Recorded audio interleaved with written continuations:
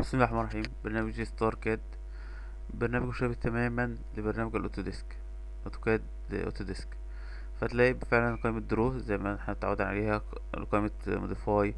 القائمة بتاعت draw order. تقريبا نفس الحاجات اللي موجودة في ال AutoCAD هي اللي موجودة هنا.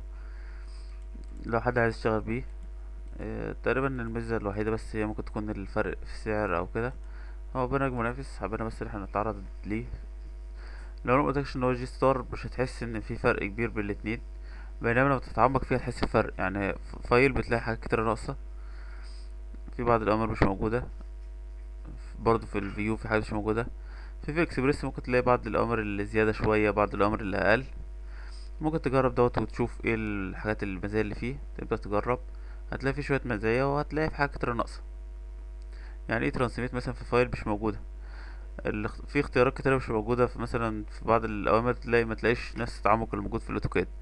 وانت لما تيجي تبص حتى على المساحة بتلاقي المساحة بتاعته كلها ستين ميجا حاجة لا تذكر. بينما ال AutoCAD بيوصل حجم مثلا لكذا جيجا تلاتة جيجا أربعة جيجا ففي فرق جامد بين الاتنين. عمرو سليم.